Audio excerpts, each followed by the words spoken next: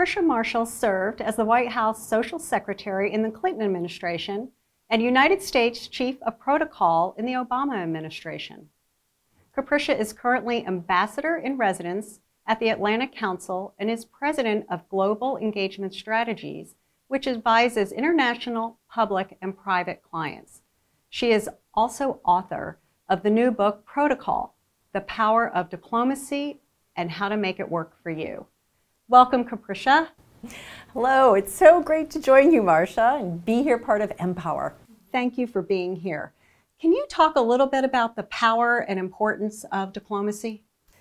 You know, diplomacy is um, sort of the magic that happens in our foreign relations. It's the engagement that our leadership has with one another, uh, building those relationships. One, the president of the United States with his counterparts around the world, and protocol is the foundation for diplomacy.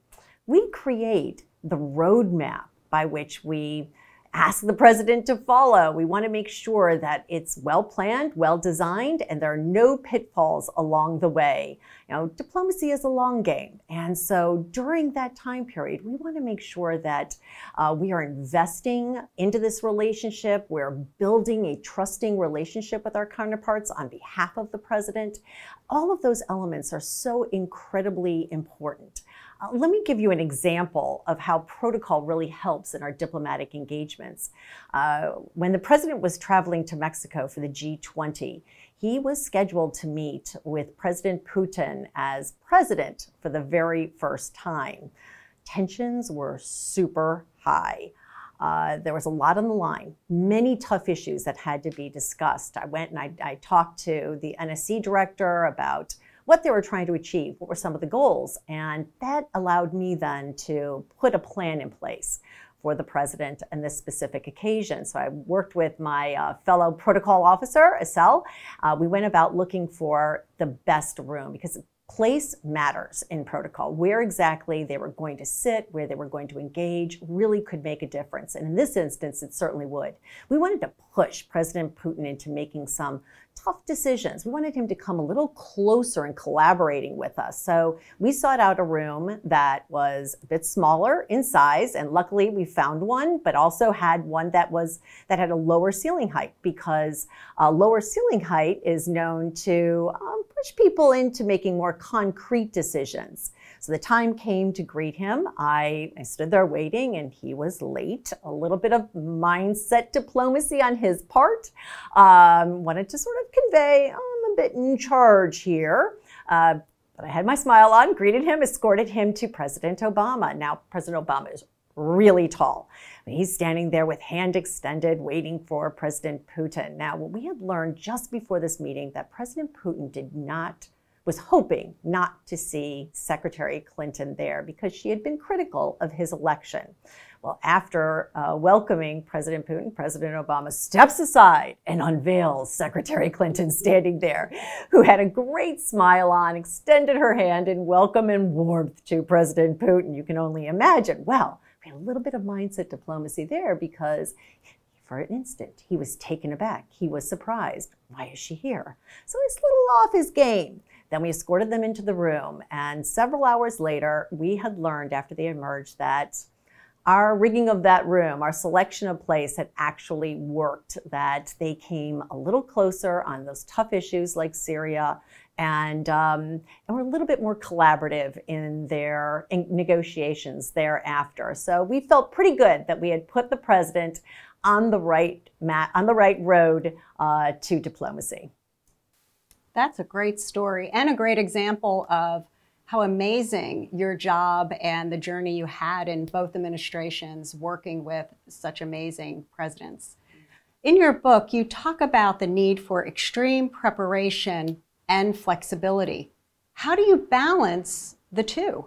Well, one actually is an element of the other in protocol, you have to be prepared. It's all about doing your research. It's all about walking into that space knowing everything well in advance of the President of the United States. You never want to set a path that will veer him off onto a rocky road.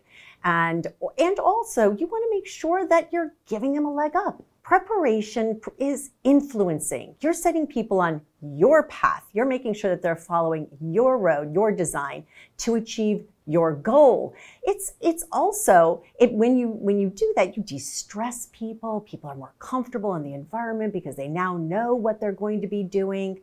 But also more importantly, not everything always goes according to plan. You have to be flexible. So by having that plan set in place. If by chance there's an off ramp you have to take because one of those elements does not go, you know, as as you had thought that they would. Um, you have that plan so you can go back on ramp again and you can, can continue with the plan at hand. So flexibility in your preparedness is super important. You write that empathy is at the heart of protocol and diplomacy. Can you tell us a little more what you mean by that? I think it's actually one of the characteristics uh, that I found uh, most important in both of the presidents that I served, both President Clinton and President Obama. Empathy. Um, they understood, they put themselves into the shoes of another so that they could understand what that person was going through, making sure that they made them feel comfortable in the moment, understanding what they're asking of them when they're pushing them to the limit. You know, um, I watched an extraordinary moment between President Clinton and President elect Bush. It was on my last day in the White House. Uh, myself and then Chief of Staff John Podesta were the only two from the Clinton administration allowed into the White House that day. And um, it, on this day in our country, we have this, this extraordinary transition of power. And, and there's a ritual where the current president invites the president elect and his uh, vice president to uh, the White House. And they have a tea. And that was the case on this day. Now, as you recall, you know, that election was pretty tough between President elect Bush and, and Vice President Gore. So tensions again were really high this day. You know, people were feeling uncomfortable. President, oh, President uh, Clinton knew that. And he wanted to make sure everyone felt at ease. And especially, he wanted President elect Bush to feel comfortable in this moment. He wanted him to understand, I know I'm handing the reins over to you. So after everyone was loaded into the motorcade, of which I had to do back and forth, back and forth, uh, I then was standing there with these two leaders, and they just put their overcoats on. And President Clinton took President elect Bush by the shoulder, looked him in the eyes, and he said, Come on, let's go do this. And President elect Bush looked back without really saying a word. He said, Don't worry, I've got it. And that instant was the transition of power between two leaders with completely different philosophies about how our country should be run. It was an extraordinary moment. And just because President Clinton approached this with empathy, with understanding for how President elect Bush could feel.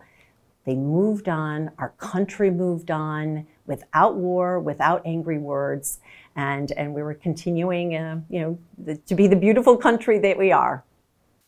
That is a wonderful story. I think we could all use a little more empathy and compassion and understanding and protocol.